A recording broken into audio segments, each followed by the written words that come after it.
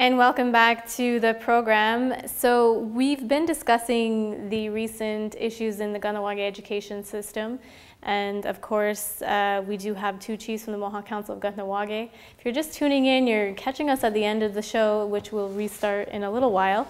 But um, we've been discussing some of the ongoing issues, the suspension of the Kahnawake Combined School Committee, um, the appointment of the interim board of trustees, how the Mohawk Council arrived at these recent decisions, all of the documents, the fact sheets, the, the letters of complaints, um, how it came to be that the Mohawk Council had made their decision. Now, fast forward through the rest of the last 30 minutes, where we are now, you said that the interim board of trustees will be discussing governance, the constitution. They do have a mandate that they're working towards, regardless of where people stand at this point. They're continuing on in their job. Where do the two of you, I guess representing Mohawk Council, see this going at this point, and what would be the ultimate resolve to this situation? Well, I'll tell you that last night I was very hopeful in spite of all of the uh, revelation of differences of opinion and belief. And you're talking about the community meeting that right. happened the, on the parties, Tuesday evening. Yes, okay, yeah. that okay. was last night, Tuesday. Yeah. And in there, finally, I heard off, offers of approach, in a sense, arbitration, mediation, mm-hmm. those kind of words, kinds of words came out, and uh, Rena as well spoke those words, and Deidre and uh, Marie spoke those. And so it almost seemed to be that there was some mending that was, or approaches given that would lead to mending the situation. There's a lot of work to yeah. be done. You know, a review of education is probably what's needed now. Really, mm-hmm. total, in terms of standards, in terms of everything that's happening in all the schools. Maybe it's time for each school to be reviewing its standards and its vision and its direction. I think mm-hmm. that's the best thing that can come out of it. But it'll be in parts, you know, this is what the schools should be doing this is what the committee should be doing. And I just wanted to correct, you know, it was a suspension of the powers, the powers. of the KCSC. Okay. It's still a, uh, a committee. Mm-hmm. It's just that for the interim, step back and let, let's get this work done and then the coming together of the two groups. Have you guys see? Oh, sorry. Did you uh, want just to add to that? Like I know, like everybody thinks of uh, we took everything away from them. There's nothing that says in three months from now, when everything is cleared up, the body that was in place before could still be in place within three months again. Mm-hmm. The same people. Right. So, you know, we're not taking or taking any away from anybody. You know, I just want that to be clear because these people that are not involved right now still could be involved in three months from now mm-hmm. and resume their positions. Right. With a renewed process that ensures that everyone, all the people, have a voice, not just the kind of meetings that have happened in the past where you get it's almost like gangs. Mm-hmm. and who has the you know might makes right? I don't think so. Not when it concerns our kids. Right. You know there has to be a voice for every parent. And the very issue of who is a parent or a guardian. I live in a house where my grandchildren live and i feel just as involved in their education as the mother and the father of those kids. and was... my and my former husband Joe as well lives in a house with his grandsons and his daughter, mm-hmm. and he's involved as well right. with the education of his grandchildren. So I want to have a voice in this, and other people, um, post-secondary students Mm-hmm. They're adults. They're yeah, they're involved. You know, you they know, should have a voice yes, as well. And the, these issues have come up. You're correct. There was a meeting that had a, occurred um, several months back where people were given different types of paper and told to sit over here if you didn't have if you currently didn't have children mm-hmm. attending mm-hmm. school right now.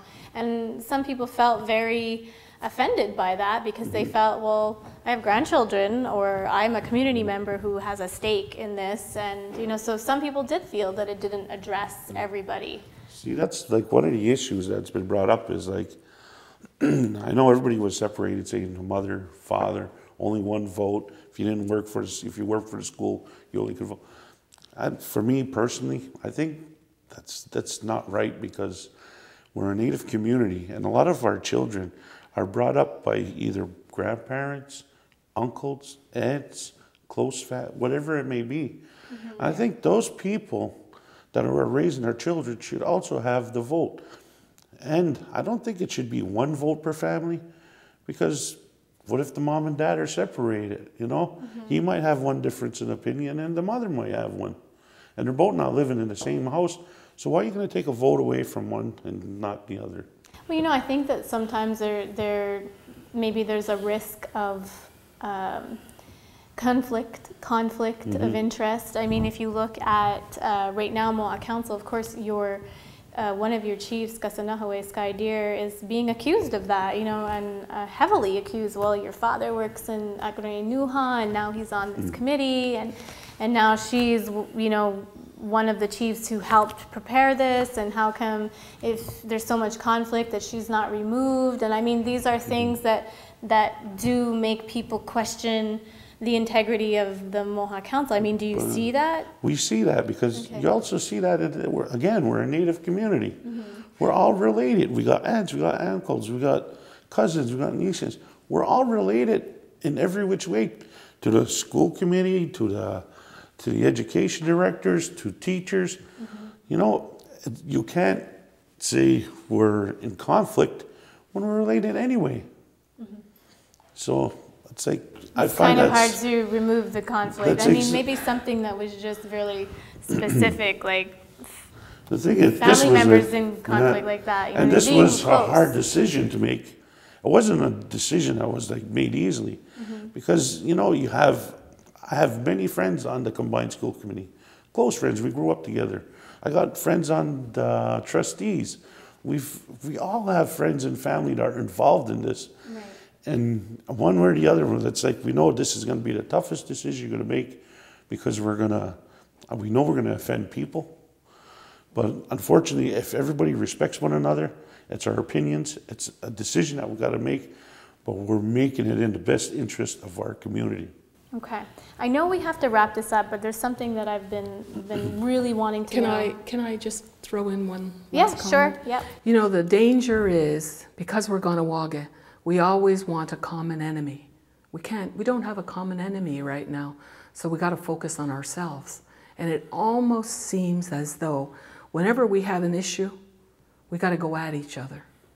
And quite frankly, we forget that really education, the subject is for the betterment of the children of the community. Mm-hmm.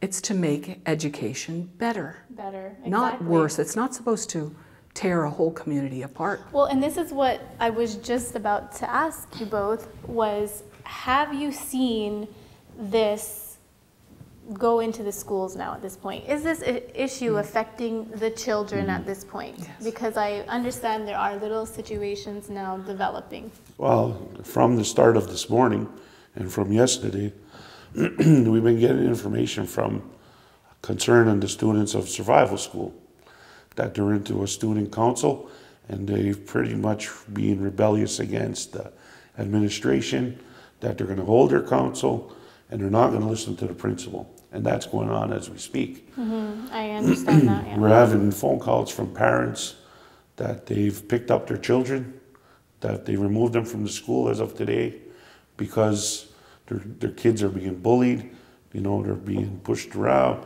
whatever it may be. There's kids that are leaving the school. There's teachers that are sitting in their classrooms empty with no students to teach. So, like, um, you know, I think it's falling apart at the school right now. And really, I have nephews and nieces in the school. I think their education is needed and not to be discussing this political issue. I think something has to be done immediately and stepped in and brought back some type of discipline or put them back in, let's get back to school. Did you, and I know we have to wrap this up, but I have to ask, do you feel at all responsible for part of this situation? Did you see when making this decision that, or even any of the combined school committee, uh, you know, together, because we are all responsible at the end of the day. But this would be an outcome. This would create divisions in this community. And did you foresee anything when you were thinking, well, I have to make I this think decision? what the, the students are being falsely given some false information because this is what this the student council is talking about and is being relayed to us from our family members in that school. It's saying that MCK is trying to take our language away, they're trying to take our culture away, they're trying to assimilate us, they're trying to, and we're not anywhere near there to do that. They're missing, it's like the whole point is being misguided and misinterpreted. And we're, you know, I think the students got to remove themselves from being political and start being about uh, education, or if they're having their student councils, talk about the bullying, talk about whatever it may be concerning the school system. Okay. Christine? Yes, and I was just concerned that, okay, the only last comment I had to make was while we're in this process of attempting to straighten out the problems that we've read and heard and seen, we've got to ensure that students are not being told to be rebellious because it's like a use of children. If kids are at high school, I, I think it's an excellent situation where there are student councils. I mean, that's a real uh, activity that stimulates your political knowledge. Right. But in this situation, someone is doing the directing, and that I don't think is appropriate. People have to be able to make up their own minds, and sometimes it's difficult to do when you're 15 or mm-hmm. 16.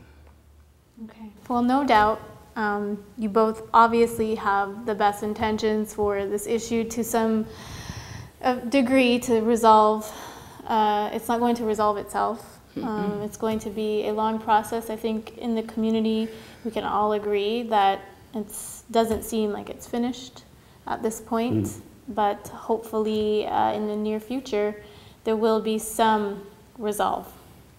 Thank you both for coming on and answering some questions. I appreciate your time, and of course, I appreciate the community for tuning in and watching Mohawk TV's Channel 4. It's a very serious issue. We hope that you enjoyed the program today. We're going to be continuing to follow this story as it develops over the next couple of weeks.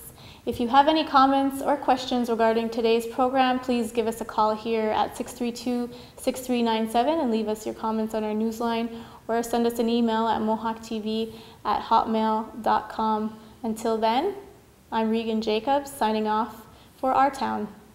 Wanna?